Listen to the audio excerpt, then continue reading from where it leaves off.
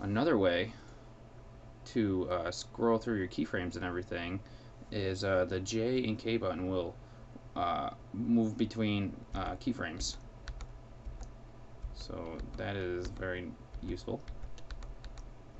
The page up and page down button on your keyframe will move, or on your keyboard I mean, will move, page down moves it forward one frame, page up moves it back one frame.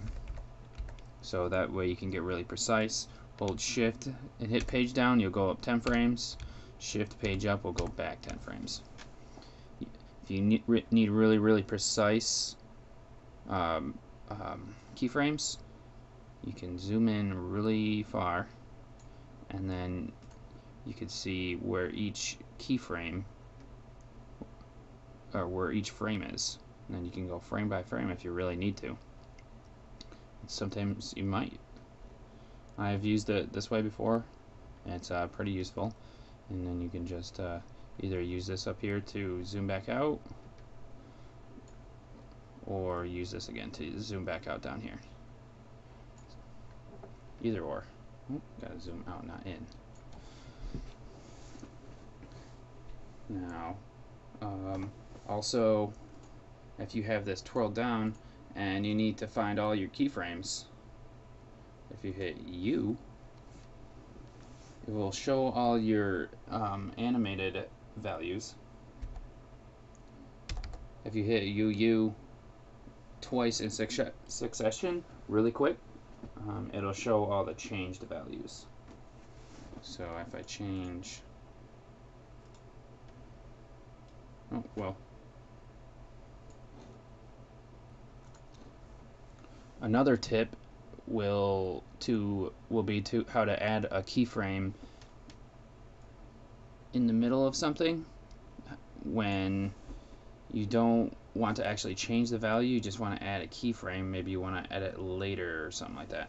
You can click on this button here which shows like a little diamond. Click on it and it'll add a keyframe Instead of, and, if you don't want to use the J and K buttons to uh, move to keyframe to keyframe, you can click on these arrows here. But it's faster to use J and K, um, unless you're already over here. So, you can leave that keyframe in there. If you use, if you switch to the pen tool, pressing G, or coming up here, going to the pen tool, you can add points on the motion path at uh, keyframes when it turns into a plus. If you see you can see right now uh, the the icon is just a pen and now it's a pen with a plus.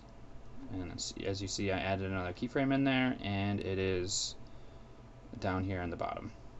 So that's a quick that's an overview of how to edit your keyframes. And there are more ways to edit your keyframes in different types of keyframes and other things that we'll be going over in a later tutorial.